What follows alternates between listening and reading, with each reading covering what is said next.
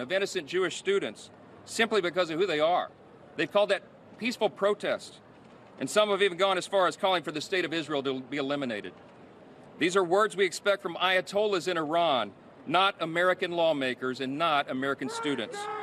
So, Sam, really, I mean, how are we at this point where outright hatred, anti Semitism, is growing to such a dangerous level in our most progressive liberal bastions like New York City?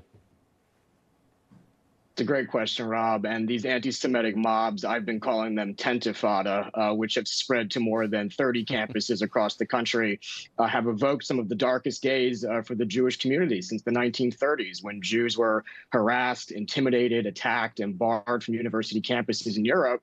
And in 2024, it's absolutely insane that these various protesters have been documented chanting at Jewish students kill the Jews, burn Tel Aviv to the ground, go Hamas, we love you, go back to Poland, throwing up Nazi salutes, displaying Hezbollah flags.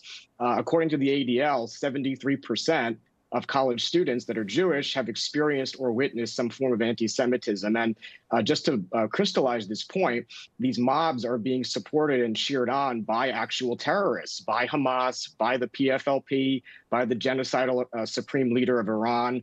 Uh, and as Drew just pointed out, the speaker and Republican members of Congress showed up with courage, with righteous moral clarity to demand uh, that the Jewish students on campus have security and safety. And of course, uh, President Biden was in New York this week up in Syracuse, but he didn't bother to stop at Columbia. So I think the clarity and the contrast here is so clear.